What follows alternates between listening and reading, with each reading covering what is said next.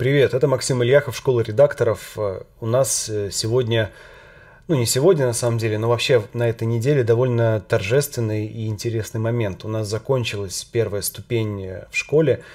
Студенты уже сдали курсовые, я их уже проверил, уже расставил оценки, и мы сейчас комплектуем вторую ступень. Это значит, что мы приглашаем лучших студентов из первой ступени перейти на вторую, и те, кто на это соглашаются, переходят и продолжают обучение.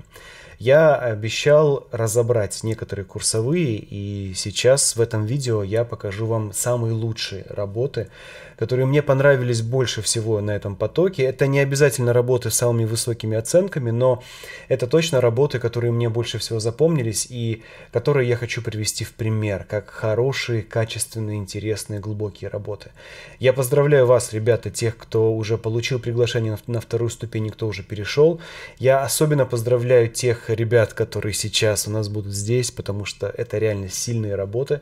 Наверное, это самый сильный поток из тех, которых я, которые я видел за время работы в школе. Я очень доволен результатом. По крайней мере, те работы, которые вы увидите сейчас, это прямо очень хорошо. Вот, я вам сейчас покажу эти работы, расскажу, что в них хорошего, что можно улучшить. Э, это первое видео будет в основном хвалебное, я буду объяснять, почему те или иные решения удались э, удачно, а дальше мы сделаем несколько еще видео, в которых будет э, разбор, критика, как улучшить менее удачные работы и так далее. Вот, я надеюсь, вам это все будет интересно, даже если вы пока что не учитесь в школе редакторов, а будете в ней учиться в будущем, вы посмотрите на примеры хороших работ и чему-то на их основе научитесь. Ну что, давайте смотреть. Первый э, у меня в списке, это работа первая в списке Ильи Полуэктова. И сразу же она нас встречает роскошным, огромным изображением моцареллы. Ух, вообще огонь. Ну, смотрите, какая красота. Просто вот когда тебя встречает такое шикарное изображение в самом начале страницы, уже потекла слюна, уже хочется ее съесть, читать это. Сразу приятное эмоциональное впечатление от этой работы, просто потому что подобрана хорошая фотография в начале.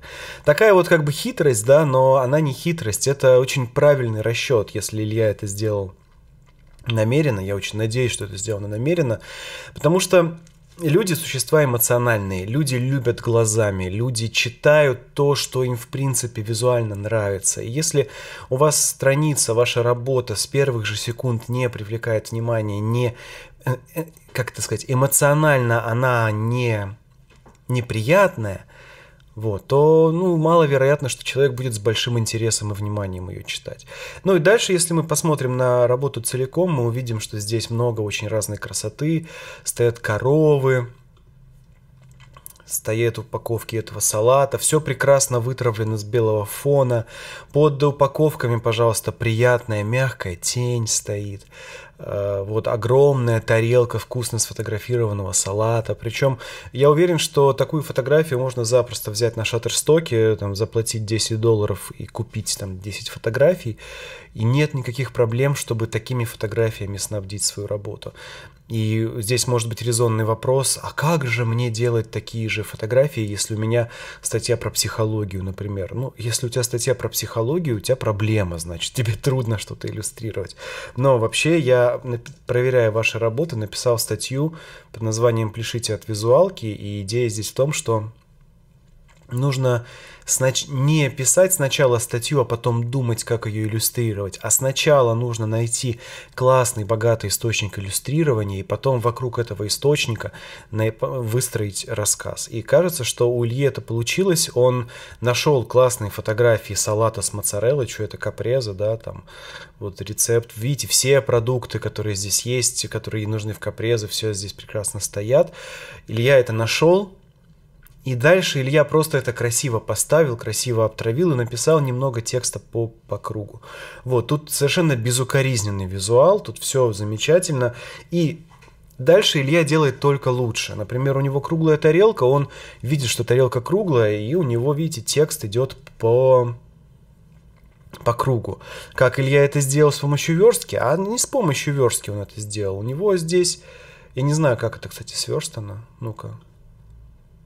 Ха, ребят, это просто PNG-шка. Это просто JPEG, это даже не сверстанный документ. То есть эта штука лежит на сайте, да, она выглядит как сайт, но я ее скроллю, она замечательно сверстана, и это просто JPEG. То есть, да, да, Илюха пошел простому по простому пути. Он сделал красивый макет и, не заверстывая его, закинул в, на сайт. И у этого есть определенные проблемы, например, что эта страница абсолютно не проиндексируется Яндексом. Да, э, это проблема, но для задачи показать это читателю, это идеально. Смотрите, какая красота. Это очень, ну, не, не то, что прямо очень трудно это сделать в HTML. Это все делается. Нет ничего здесь такого, чего нельзя сделать в HTML. Ну, просто это бы потребовало еще там 3-4 дней работы. А так все, видите, JPEG сделано, JPEG лежит на страничке, скроллится без проблем. Э, ну, давайте еще какая тут, что мне тут еще нравится. Ну, во-первых, да, что большая фотография в начале, красивый выразительный шрифт, бюрошный, причем взятый из, из бюро. Э, здесь Значит, фотография автора, он колпачком аккуратно вылезает отсюда, это приятно.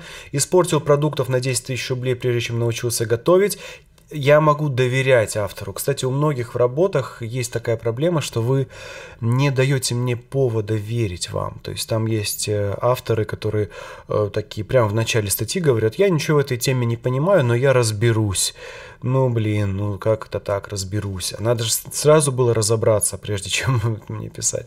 Вот, поэтому здесь все хорошо и весело, и аккуратная фотография, и она здесь уместная, потому что человек видно, что имеет опыт, ну, насколько я понимаю. Маленькое замечание, когда пишете пятизначное число, ставьте пробел вот здесь вот в, в как это называется, в разрядах, чтобы было чуть проще читать. Ну, коровки молодцы, тенюшки хорошие. Ну, как бы тенюшка тут на самом деле не очень хорошая, она грязная, то есть она, ну, ее еле заметно. Может быть, вы со своих мониторов даже не увидите, что тут есть тень. Но я вижу, она слишком мягкая для таких объектов, и, ну, как бы ладно. Просто можно не стесняться и тень рисовать плотнее. А, очень приятно, что вы показываете, что покупать. А, вы показываете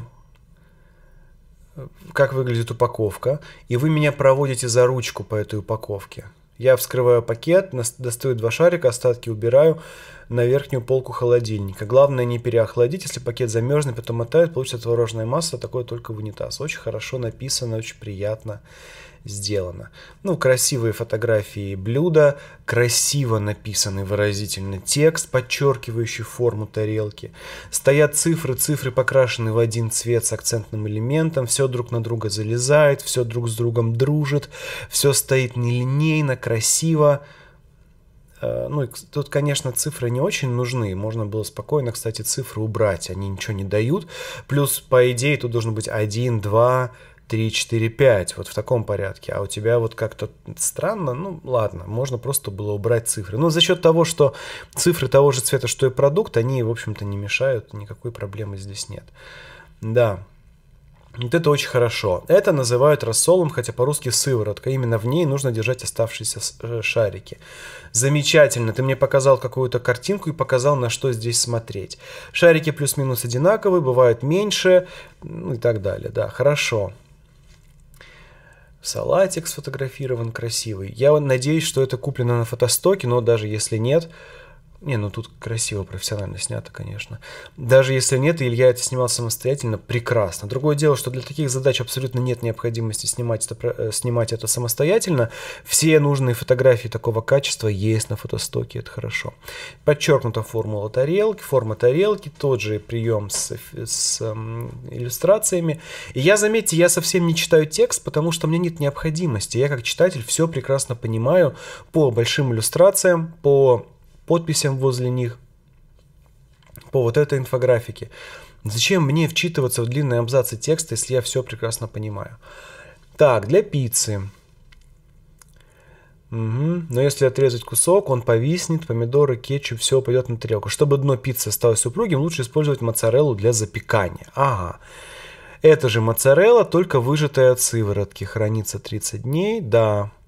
Угу. И вот, пожалуйста, рецепт. красиво сделанная. Напоследок. Моцарелла у всех производителей по вкусу разная, марка не имеет значения. Главное, чтобы сыровар не использовал загустители, стабилизаторы, консерванты, модифицированный крахмал. Да, за три года я ни разу не встречал в составе консерванты, но если беру новую марку, всегда обращаю внимание на состав. Угу.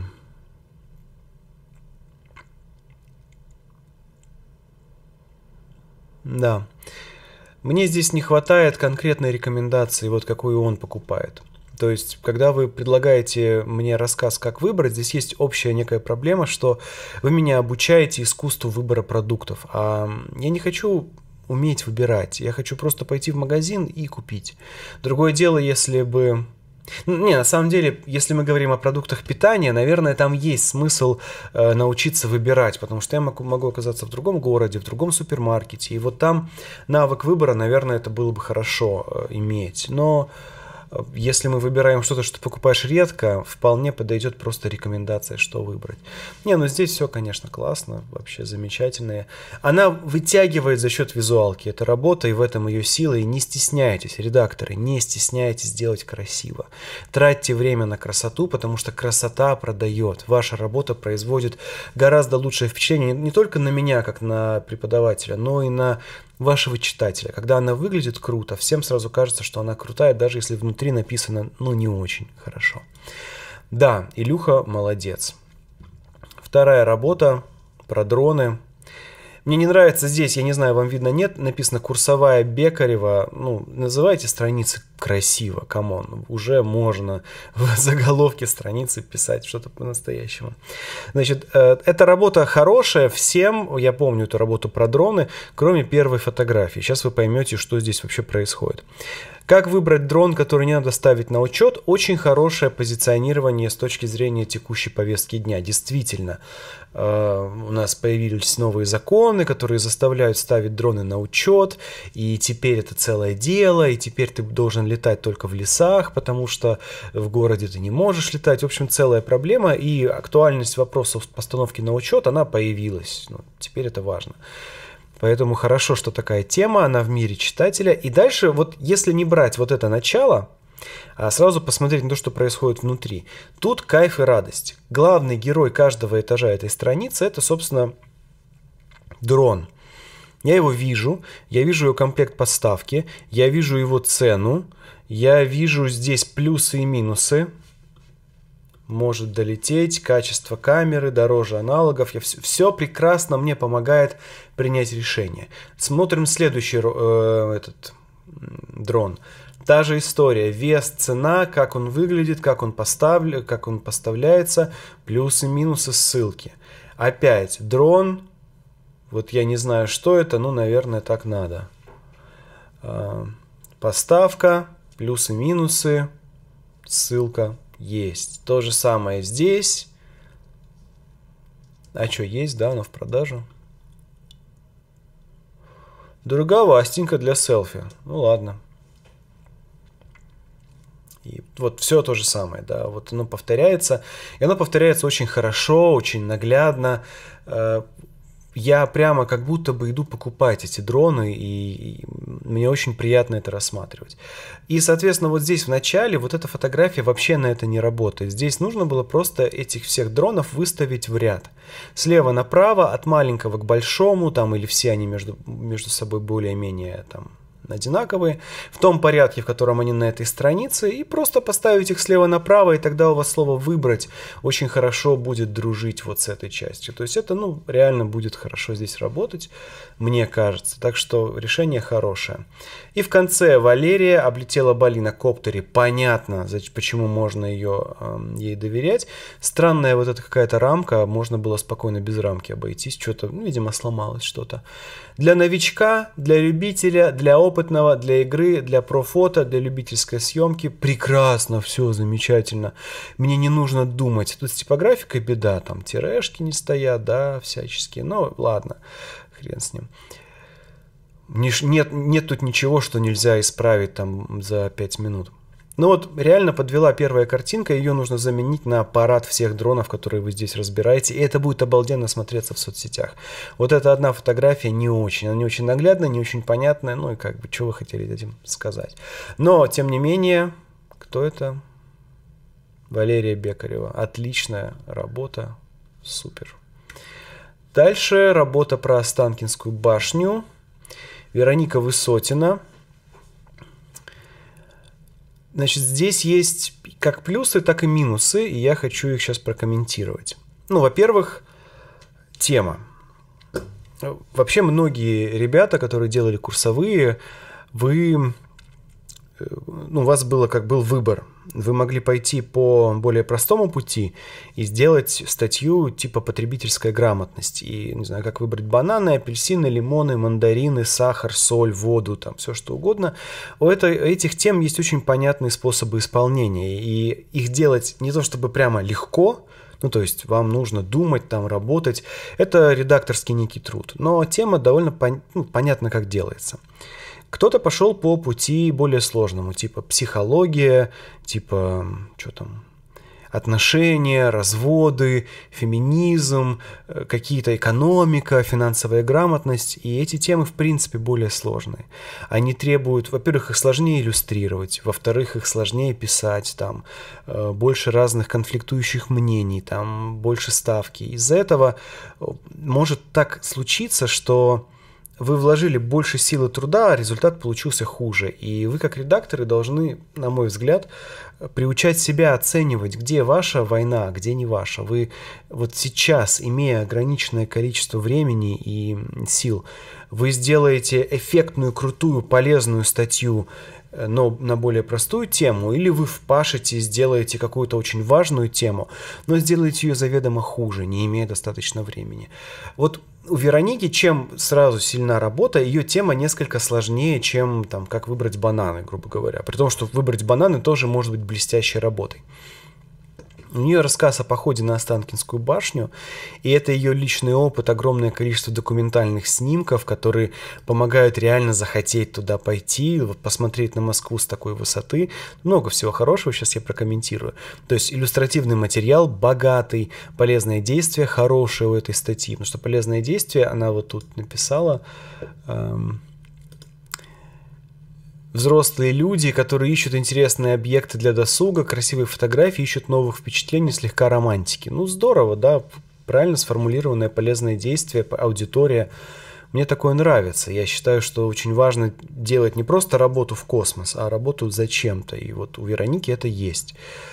Ну вот я открыл, я, кстати, не заметил при проверке изначальной. Сейчас как это. Но вот когда я открыл, мне стало очевидно, что тут грязноватый фон, Видите? Иллюстрация, как бы, не знаю, видно вам нет, сбоку такая, как бы, как бы шпиль, да, Останкинской башни. И он зафейджен, фейд, да, то есть он бледный. Это не очень хорошо. В принципе, если вы что-то хотите изобразить, изображайте это в основной колонке текста или где-нибудь там на полях ставьте, но делайте так, чтобы это было видно. Из-за того, что вы сделали такой как бы рукописный фон, вы создали скорее шум, чем какой-то кайф. Поэтому я не рекомендую вот делать такие фотографические фоны ну, кроме ситуации, когда они почему-то прям по, по теме вам нужны. Ну, типа, вы выбираете виды бумаги, да, и вам нужно фактуру разных бумаг показывать, ну, и, наверное, это тогда имеет смысл.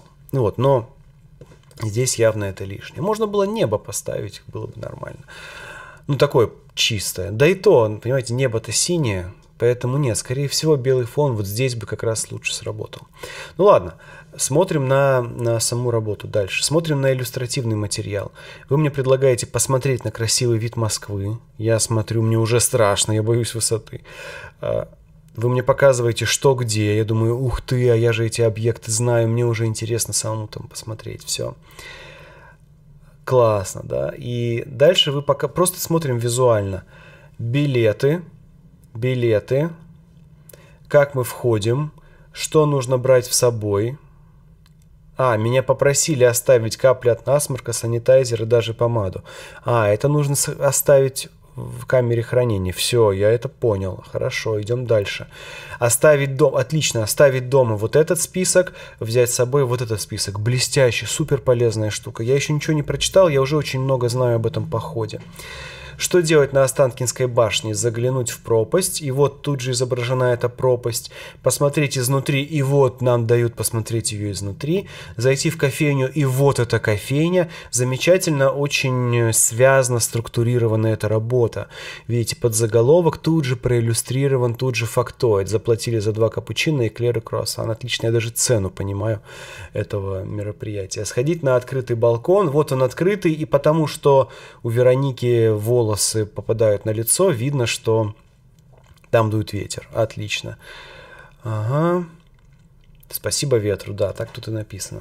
Советы посетителям в конце, всякие э, тонкости, источники, все классно. То есть, что в этой работе вообще максимально крутое? Во-первых, очень хорошая четкая структура. Во-вторых, замечательный иллюстративный материал и связность иллюстративного материала и структуры, что у меня есть подзаголовки и тут же написано, э, ну, тут же проиллюстрировано. К каждому важному заголовку стоит иллюстрация, и эти иллюстрации, ну, при том, что можно было их сделать лучше, ну, типа камеру хранения, там, фотографию поставить ровно, а то она у вас как-то это завалилась немножечко, и башня, видно, завалилась, да. Но это не страшно, это все исправляется там в фотошопе за 10 минут, а подход и структура очень хорошая. И вот здесь, пожалуйста, можно и нельзя, вот иллюстрация к этому месту, вот она здесь, оставить дома и взять с собой. Замечательно сделано. Я прям этот список хочу сфотографировать и при сборе на башню им пользоваться. Отличная работа именно благодаря вот, вот этому вот всему. Я эту статью опубликую, это видео опубликую в визуальном повествовании. Вы можете сами почитать эту работу, убедиться в том, как она приятно и легко читается за счет хорошей структуры. Да. И, кстати, тоже в начале вот многие из вас ставили свою фотографию, типа, кто это делает, и вы пишете, Вероника Высотина носила каску на башне. Ну, во-первых, смешно, а во-вторых, окей, да, я могу вам доверять, потому что я вижу, что вы были на Останкинской башне, вам можно в этом вопросе доверять, значит, я готов э, к вам прислушиваться. Хорошая работа, сильная, очень приятная. Следующая работа Наташи Котаревой, которая 8 лет снимает на пленку, и это повод ей доверять. То есть, если бы тут было написано «разобралась в фотопленке», наверное, я думаю, ну, что значит, ты только сейчас разобралась, а сколько у тебя опыт, а сколько ты снимала? Не очень хорошо было бы. А когда нам говорят 8 лет снимает на пленку, уже есть некий повод ей доверять. Причем Сережа Король, конечно же, нашел к чему тут по смыслу прицепиться и там, говорит, что есть в работе фактические ошибки, но Сережа Король, он где? Его здесь нет, его в этой работе не присутствует, поэтому я как дилетант, а читать эту работу будет, понятное дело, дилетант. Человек, который профессионал, он знает, на какую пленку он снимает. Я, например, снимаю на там, на XPS и прекрасно себя чувствую. На PAN я снимаю замечательно. Э, вот, и у меня нет потребности изучать, какую мне выбирать пленку. Но почитать, как глаза, глазом новичка, конечно, интересно. Несколько сбивает то, что вот тут при наведении эти пленки что-то делают, и это странно. Э, ну, типа, чё? Я думаю, что они кликабельные, не кликабельные. Я не понял, в общем, что они имелось в виду. Но ладно, сделали и сделали. Дело, наверное, здесь в том, вообще во всей этой работе, что вы говорите о пленке, но в, меньш... в большей степени о пленке и в меньшей степени о фотографии, которую вы будете получать. Ну, наверное, это, это нормально для поставленной задачи, что вы все-таки делаете про фотопленку, а не как снимать на пленку на, на разные. Поэтому, наверное, это обосновано. Ну, просто такая мысль. Теперь смотрим на иллюстративный материал. И заметьте, я сразу смотрю на иллюстрации. Я сразу просматриваю работу на предмет того, могу ли я ее понять, просто смотря на иллюстрации, и, как правило, ответ «да, могу», если это хорошая работа. И это признак хорош, хорошей именно редакторской работы в 2019-2020 году. Друзья, очень важно сейчас, чтобы вы понимали такую вещь. Мы уже давно не в том мире, не в том состоянии, когда люди приходят вас целенаправленно читать. Если вы не Владимир Познер, если вы не э, журнал Сноб, если вы не Инстаграм «Читай по-умному», люди приходят к вам не ради процесса чтения. У них для этого есть книги художественные, там что, какие угодно. А люди приходят к вам, чтобы что-то понять, потому что вы им обещаете, что они что-то новое поймут, узнают. И это значит, что если вы решаете задачу понимания и узнавания с помощью – не текста, а иллюстраций, у вас уже есть преимущество. Вы уже как бы более крутые в плане донесения информации. Вот я смотрю на работу по диагонали, и я вижу какая-то мутная фотография, что один из кадров, переэкспонировка, тусклые цвета. Тут, кстати, не хватает вывода, это плохая пленочная фотография, там, например, да. И дальше мне показывают, ага, 135 формат, это вот так, 120 формат, это вот так, угу.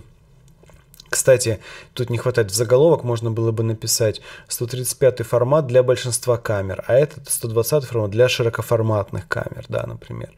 Цветная или черно-белая, то есть я смотрю на фотографию, тут написано результат кросс-процесса, небо стало зеленым. Кстати, вот тут есть проблема.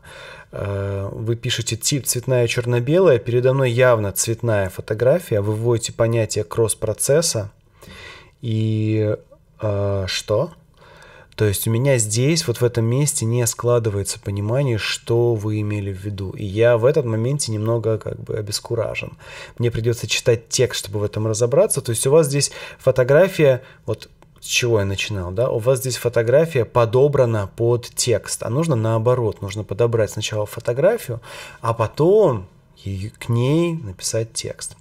Ну и дальше, как их проявлять, цветной негатив, цветная обращаемая. Я не очень понимаю, зачем мне это знать. То есть у этого есть там некая проблема. Но это, в общем-то, та часть, которая работу скорее подводит. Потому что пока что мне не так важно, как именно их проявлять, а, пока я их не выбрал, пока я не понял, какая картинка мне нужна. То есть вы здесь допускаете ошибку, вы меня пытаетесь сделать экспертом по пленке до того, как я научился на нее снимать, до того, как я ее почувствовал, до того, как я научился кайфовать или реально захотел в этом разобраться, вы мне не продали идею пленочной фотографии, а уже пытаетесь меня научить разбираться в цвета, в цветах проявки. Я вот 6 лет снимаю на пленку, и я до сих пор не разбираюсь в этих процессах. Я просто прихожу в фотопроект, отдаю им пленки, и через там несколько дней забираю сканы. Все, мне не важно, как это сделано. Поэтому то, что вы здесь на этом такое внимание акцентируете и ставите иллюстрации, это скорее мешает. А вот дальше начинается интересное. ISO съемка днем или ночью, Тут вот это все хорошая табличка, которая объясняет, на каком ISO снимать, когда. И тут вы показываете мне шум. Проблема в том, что шум трудно рассмотреть, поэтому хочется здесь... А, во, у вас он здесь увеличивается. Это было не очевидно. Я когда проверял, я не понял, что это можно увеличивать. Сейчас, да, сейчас понятно. Тут вот очевидно. Ага, здесь шума нет, здесь все ровненько, здесь шум есть, здесь все такое. Окей, хорошо. 3200. Да, Дельта, кстати, обалденная черно-белая пленка. Что купить? Черно-белые пленки, Фомопан 200, подходит для съемок в солнечные облачные дни. Красиво, фотография сня снятая на эту пленку. Как выглядит, что покупать? Супер. Дальше. Фотограф, красивая фотография, на что снято, что покупать. И теперь вот это то, чем эта работа на самом деле продает и подкупает. Мне показывают красивые фотографии, ну, для кого-то это тоже будет красиво, наверное, да, интересно. Просто вот это явно выигрывает по сравнению с первой. Ну, просто в силу того, что это портрет выразительный, там, женщина, все красиво, здорово я вижу красивый портрет, и мне кажется, что для того, чтобы получить такой портрет, мне необходимо снимать на пленку. Хотя это, конечно, не так. Снимать-то можно на что угодно. Главное, кого ты снимаешь, как, как насколько ты владеешь своим инструментом. Но мне кажется, будто эта пленка, это путь к вот таким фотографиям, и, соответственно, я в это влюбляюсь и хочу фотографировать. Вот это то место сейчас у меня на экране, которое делает эту работу. Вот это ощущение, что если ты хочешь вот так круто снимать, иди и покупай вот эти пленки. Все, ваша задача решена. Дельта 400, ну понятно, да. Архитектурка, зерно, артефакты. Портер 160, Опять, вот, вот это тоже место, которое продает. Желтенькие акценты, красивая фотография, понятные цвета, хорошее есть настроение, уже тебе кажется, что вот тебе нужно такое делать в своей жизни. Тоже все здесь хорошо. На этом месте я, я лично ненавижу снимать на Fuji, она на мой вкус зеленит, мне не нравится ее оттенок, но когда я увидел контекст, в котором она обалденно зеленит, вот этот вот вечер, съемка, огни, я думаю, да, в следующий раз поеду снимать что-нибудь ночью, я заряжу себе фотоаппарат Fuji вот ощущение от этого места, от этой жизни, оно здесь продается. И Вероника, это же Вероника, да? А, это Наташа, извините. Наташа. Наташа сделала здесь замечательную вещь. Она продала мне идею фото пленочной фотографии. Я захотел этим заняться в очередной раз, хотя я и так этим занимаюсь.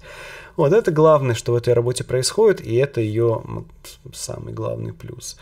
Тут дальше есть некоторая шпаргалка, я бы не назвал ее супер полезной. Определите формат.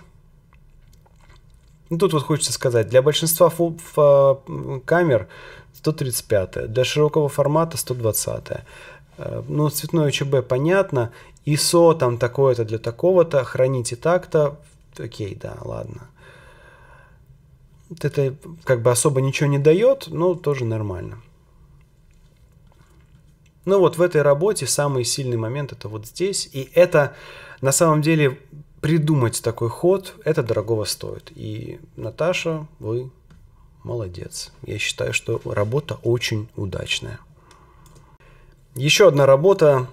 Татьяна. Как выбрать моющий робот-пылесос. Очень смешная вот эта куча пылесосиков сгруженная. Видно, что их много разных. И это, это вот смешно крутится. Прикольно. Сразу в этом что-то есть.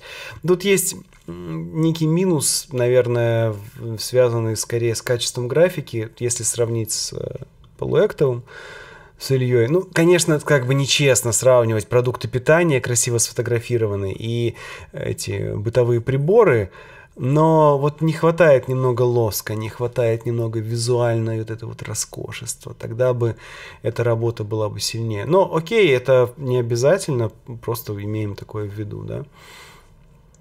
Татьяна полгода не моет полы сама.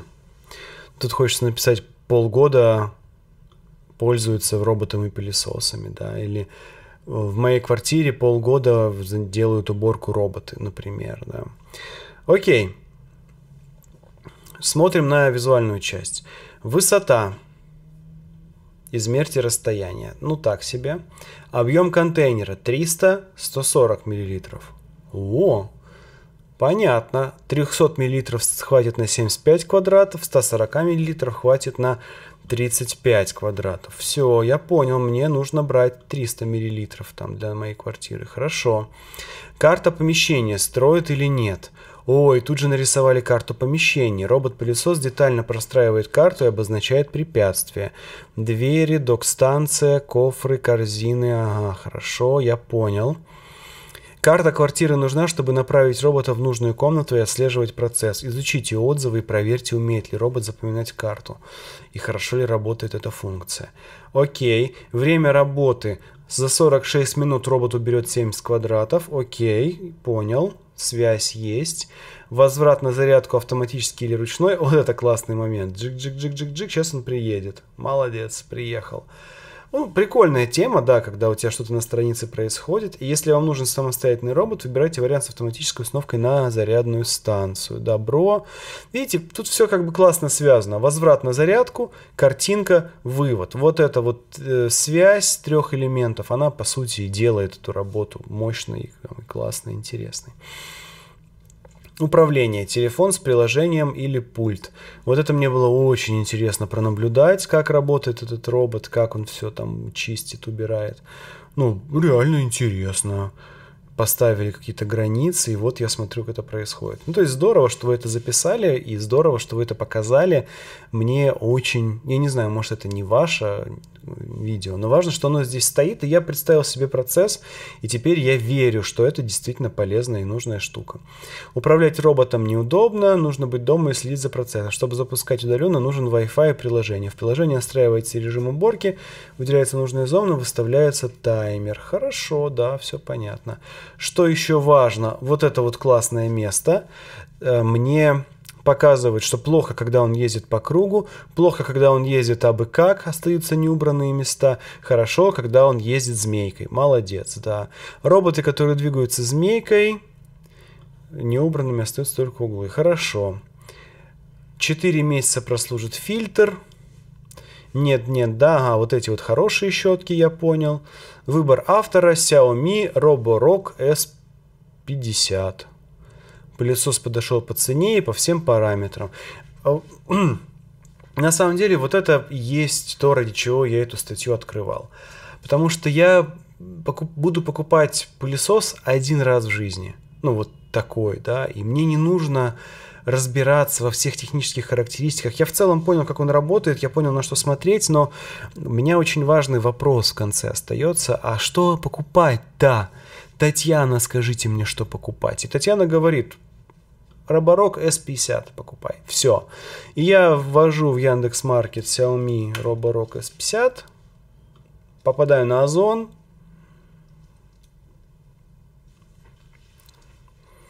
Ну-ка, Xiaomi. Зайду во все Xiaomi, которые бывают. Роборок S5 за тридцатку. Что-то плохие отзывы. М-м-м. Но вот видите, мой путь уже начался, я уже изучаю этот вопрос, и уже благодаря тому, что Татьяна меня научила выбирать эти роботы-пылесосы, теперь я могу более спокойно выбирать, несмотря на то, что S50 там, например, он, нет его в наличии. Ну ладно, хорошо, я выберу какой-нибудь другой.